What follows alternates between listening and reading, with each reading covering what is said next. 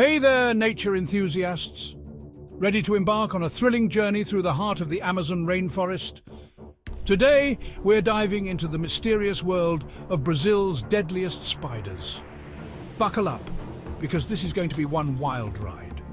First up, let's meet the Brazilian wandering spider, also known as the banana spider. This nocturnal hunter prowls the forest floor and its venom is considered one of the most toxic in the world. Just one bite can cause intense pain, muscle problems and in severe cases even death.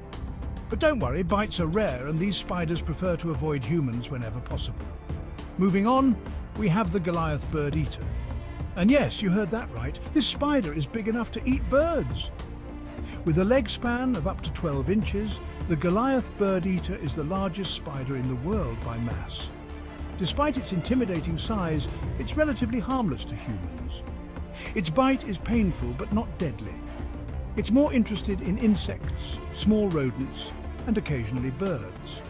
Next meet the Amazonian giant centipede's arch nemesis, the Venezuelan sun tiger tarantula. This beautiful yet deadly spider is known for its vibrant orange and black colouring. Its venom isn't the most toxic, but it packs a punch that can incapacitate its prey in seconds. It's a master of ambush, waiting patiently for the perfect moment to strike. Now let's talk about the Brazilian wandering spider's lesser-known cousin, the armed spider. Armed with potent venom and a defensive nature, this spider is not one you'd want to cross paths with.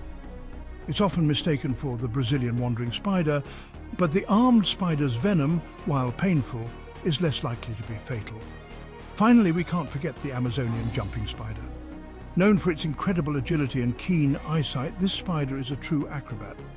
Unlike most spiders, it doesn't rely on webs to catch prey. Instead, it uses its powerful legs to leap great distances and surprise its victims. While its venom isn't dangerous to humans, its bite can still cause irritation and swelling. So there you have it, a glimpse into the fascinating and deadly world of Amazonian spiders.